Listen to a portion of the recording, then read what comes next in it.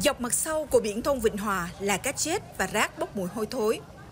Cán bộ của Ủy ban Nhân dân xã Xuân Thịnh cùng các chiến sĩ đồn biên phòng Xuân Hòa, giáo viên, học sinh của trường tiểu học Xuân Thịnh tiến hành thu gom. Hiện trường các bãi biển cho thấy, ngồi tôm cá chết thì rác thải ở đây phần lớn là ngư lưới cụ, bao đựng thức ăn cho tôm hùm. Chỉ một đoạn ngắn hơn 100 mét như thế này, các lực lượng đã thu gom nhiều tấn rác. Cùng với địa phương là dọn dẹp cái rác thải có ở trên cái ờ, khu vực ờ, địa bàn xã Xuân Thịnh, Xuân Cảnh, Xuân Hải.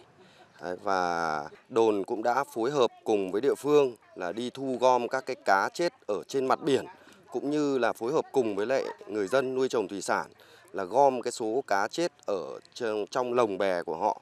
Sau đó là có đem lên trên bờ để ờ, chôn rồi tiêu hủy tránh ảnh hưởng tới cái ờ, nguồn nước.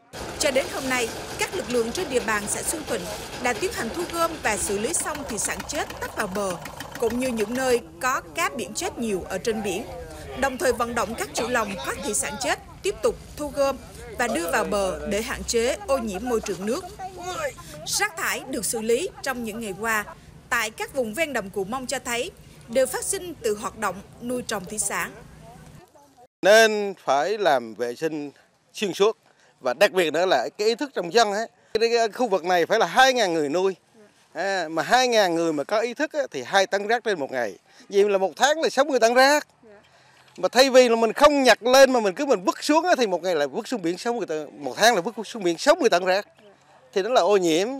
Thực tế tại các vùng nuôi trồng thủy sản ở thị xã Sông Cầu cho thấy phần lớn ngư dân chưa ý thức bảo vệ môi trường. Bao, túi ni lông sau khi cho thủy sản ăn lại vứt ra biển. Đó là chưa kể chất thải sau khi cho tôm hùm ăn cũng tồn động ở biển. Lòng nuôi dày đặc kết hợp với chất thải tích tụ lâu ngày dẫn đến ô nhiễm môi trường là điều khó tránh khỏi.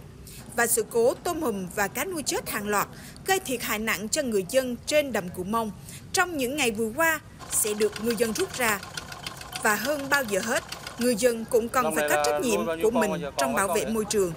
Bởi muốn có một nghề nuôi biển bền vững thì không thể không bảo vệ môi trường.